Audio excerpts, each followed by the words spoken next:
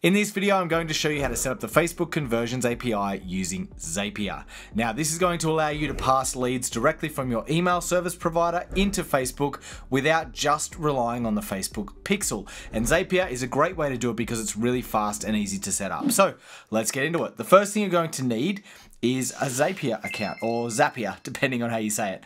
Um, so set up your free account with Zapier, that's all you need, and log in and you'll see a screen like this. Now what we're going to do is click make a Zap. And from here, you're going to choose your email service provider. So I'm going to just choose ActiveCampaign now and I've already connected it so it doesn't ask me to connect ActiveCampaign but if you haven't connected your email service provider before it's going to ask you to do that so just follow those steps to connect it. It's really quick and easy. Next choose your event here. Now I want to run this zap every time a contact is added inside ActiveCampaign so I'm going to go every time a new contact a new or updated contact sorry is added so that means whenever a new lead or purchase happens inside of ActiveCampaign, it's going to get pushed across to Facebook via the Conversions API. And then Facebook can match that to any ad campaigns that I've got running. Now I just choose my ActiveCampaign account, hit continue, and then the trigger, you just choose your list that you want. So which list uh, is going to cause these triggers. So whenever somebody gets added to this list in my ActiveCampaign account, it's going to trigger or if they get updated, it also triggers. And then skip unsubscribe events, you want to click true. Now what you're telling Zapier here is if somebody unsubscribes from your email list, you don't want that to get pushed across to the Facebook Conversions API.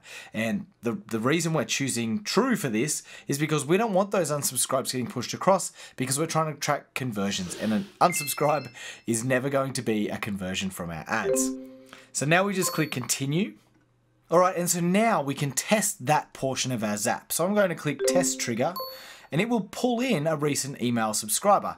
Now, if you uh, want to test this yourself, I recommend setting this up and before you click test, go over and sign up to your own email list so that you will have a new contact added so you've got some data to pull in. Now you can see here it's brought in the data for me, which means I can move on to the next step by clicking continue.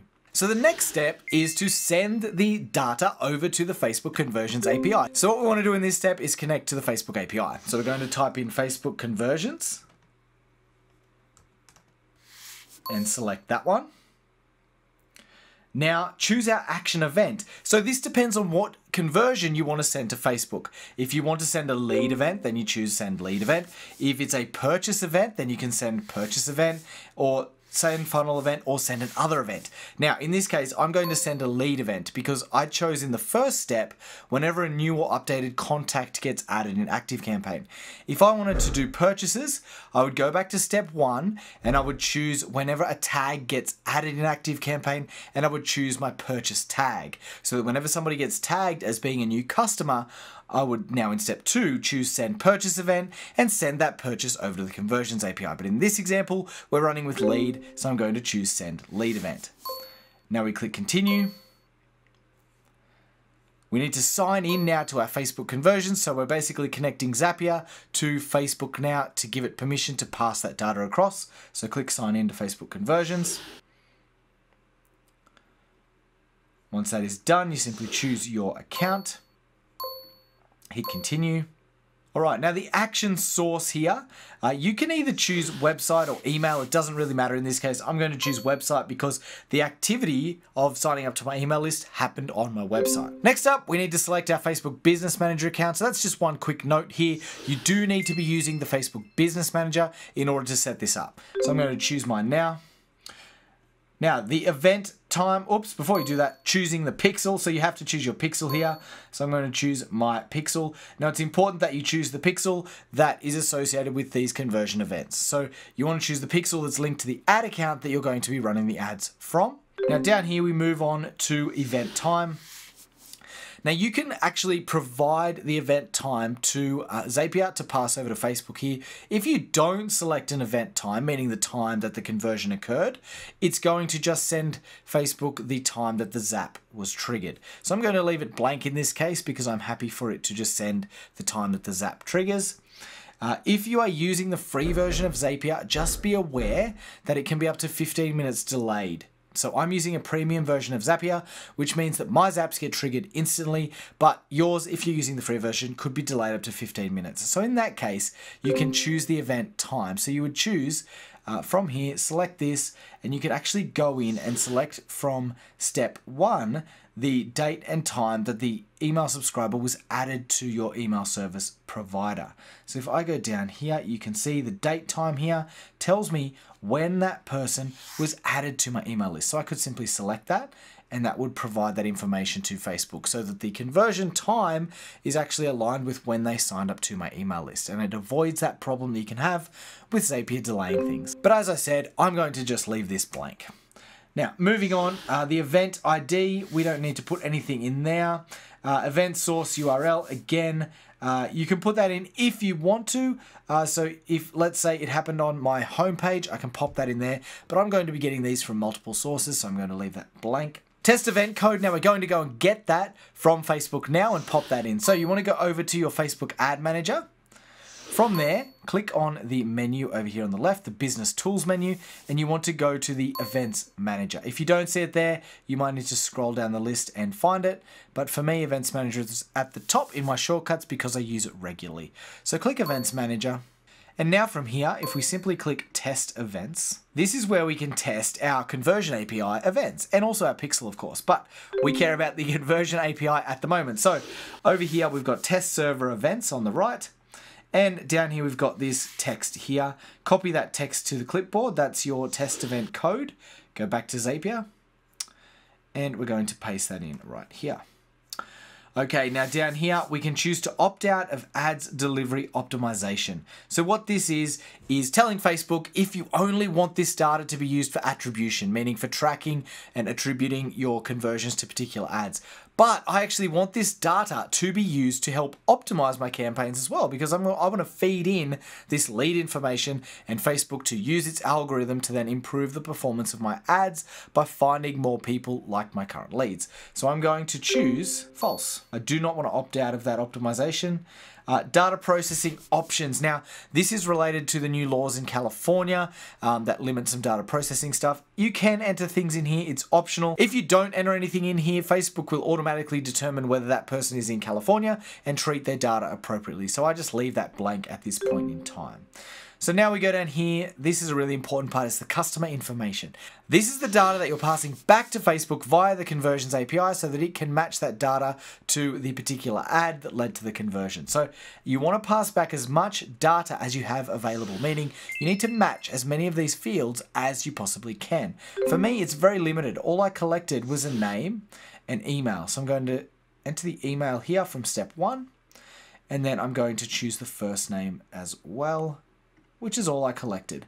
But if this is for a purchase event, you would probably have email, phone number, first name, last name, city, state, postcode, and you should match all of those fields uh, if and when you can. All right, so we go down here. You can choose to show all fields. There are some other fields we can pass. If you choose true, it will display them for us now, so I'll show you that. So you can pass date of birth, gender, and a few other things here. I'm not going to pass those now because I don't have that information. But again, if you've got it, pass it across.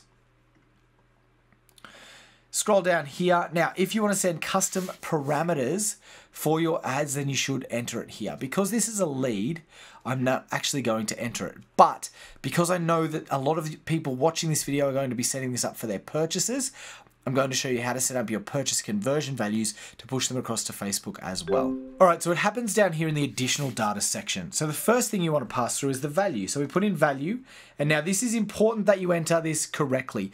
Now, if you're not sure what to enter, just click on this custom parameters button here.